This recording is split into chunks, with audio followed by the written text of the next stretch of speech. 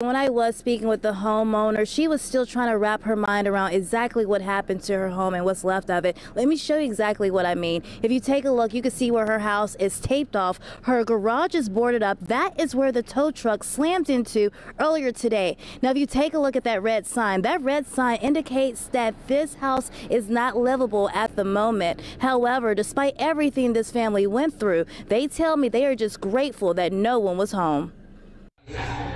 You were looking at a tow truck slamming into a Cape Coral home on Southwest Chiquita Boulevard, south of Pine Island Road.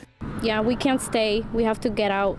They just cut electricity and power. And this family can no longer live in their home until it's fixed. Glenda Perito lives here with her husband and also her seven year old. Now, so much damage and so much to clean up after this tow truck crashed into her garage. Perito gave Fox 4 this video of the crash from her security camera. We usually sat, we had two sofas there. I don't know if you can't really tell, but that's a TV that we have there.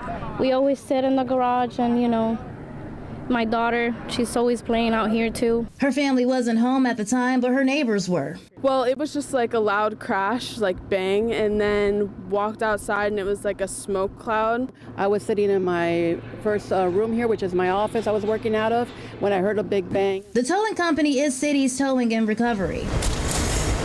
He um, towed my car not too long ago. Him and his um, father own the company. They're great people. They were super nice through the whole thing. Witnesses ran to the aid of the driver, saying he was drifting in and out of consciousness. When crews arrived, they had to use the jaws of life to get him out before rushing him to the hospital. He was alert. He was answering the questions that were asking him. Now, of course, Glenda and her family aren't here right now, but she did tell me that they have family to stay with tonight. Now, when I was speaking with Cape Fire, they did tell me that they are working with the Red Cross to find this family a home. Live from the Cape, Briana Brownlee, Fox 4.